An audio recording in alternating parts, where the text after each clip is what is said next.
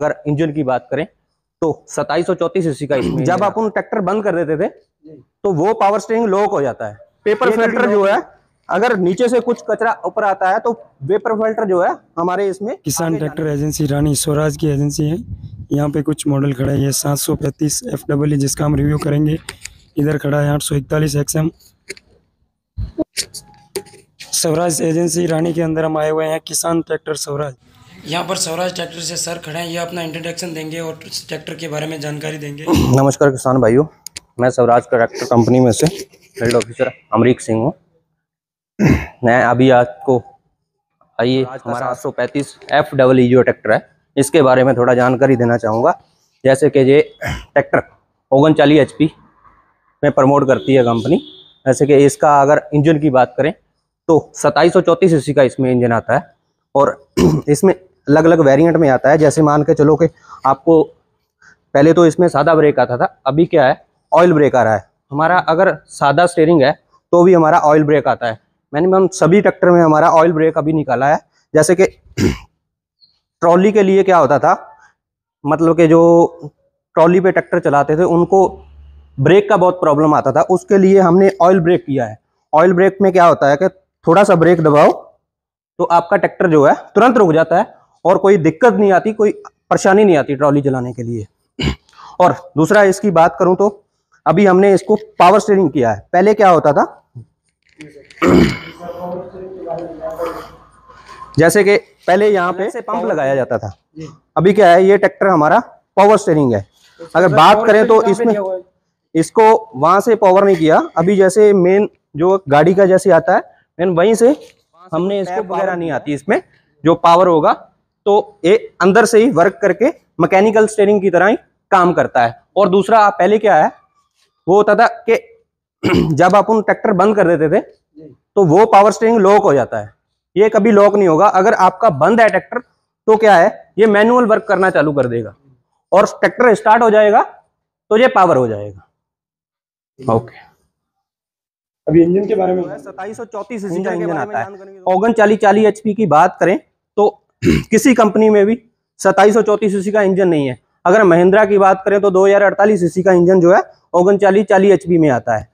और farm tag की बात करें तो वो भी 41 कैटेगरी में ट्रैक्टर दे रहे हैं या किसी भी मतलब के ट्रैक्टर दे रहे हैं तो लगभग तेईस सौ सीसी तक इंजन आ रहा है। हमारा इसमें चौतीस, तेईस सौ सताईस सौ चौतीस सीसी का इंजन आ रहा है, जिसमें क्या है, जितनी ज़्यादा सीसी होगी, उतना आपका मतलब कि इंजन भी जो है लॉन्ग टाइम चलेगा। मान के चलो कि ये इंजन में काम आएगा तो कम से कम पंद्रह बीस साल के बाद में आएगा। अदरवाइज़ जिसका जितना आप उन क्या करते हैं कि जितनी सीसी कम होती है तो उतना उसके इंजन पे लोड जाता है। ये अंडर लोड रह के ट्रैक्टर चलेगा ना कि ओवरलोड रह के चलेगा।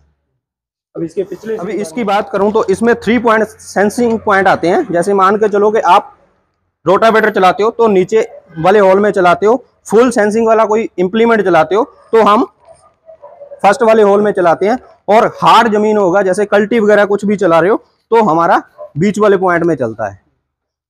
और दूसरा क्या है 540 रेगुलर जो पीटीओ आरपीएम है वो इसमें आ रहे हैं। लिफ्ट की कैपेसिटी जो है इसकी उठाने की क्षमता साढ़े बारह सौ के जी है। जी। और टायर के बारे में बात करूँ तो इसमें तेरह छः अट्ठाईस के टायर आते हैं। कंपनी इसमें सीएट वगैरह अपोलो वगैरह मतलब कि एम भी तीन चार कंपनी के टायर जो है यूज़ होते हैं इसमें।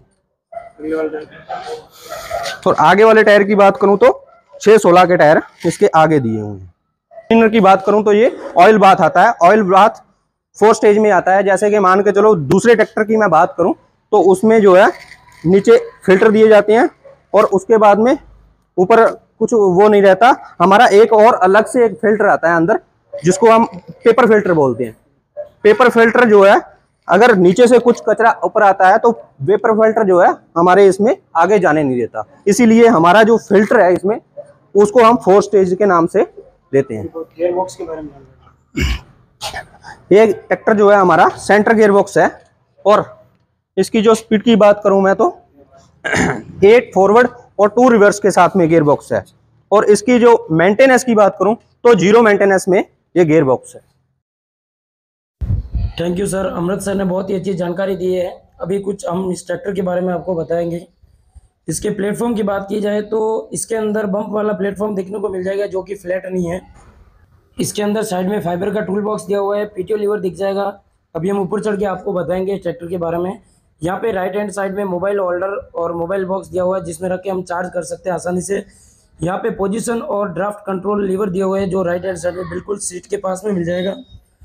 अगर इसके इंस्ट्रूमेंट क्लस्टर की बात की जाए तो इसके अंदर RPM meter, temperature meter, diesel meter सब दिख जाएगा, जो कि डिजिटल नहीं है।